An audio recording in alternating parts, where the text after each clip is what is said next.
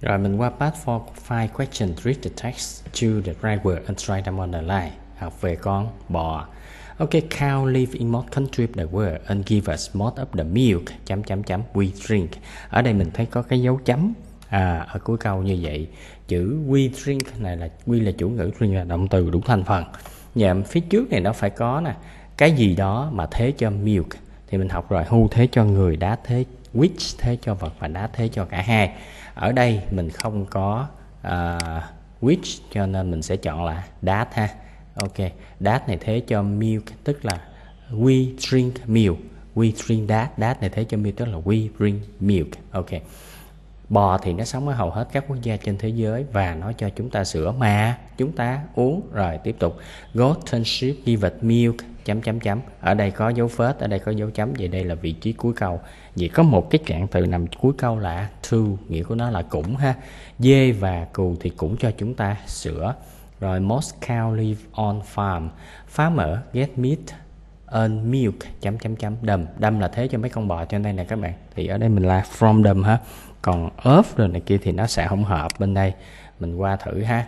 Ốp là họ của không được. Round là xung quanh cũng không được chỉ có from là hợp nghĩa trong tình huống này thôi. Từ chúng à giới từ ha. Rồi cows have 32 teeth we have them to eat the grass in their field. Bò thì nó có 32 cái răng. Which thế cho mấy cái răng ở phía trước nè. Những cái răng này giúp cho chúng ăn cỏ ở trên cánh đồng. Rồi ở đây mình thấy à, đây là dấu chấm kết thúc câu ha.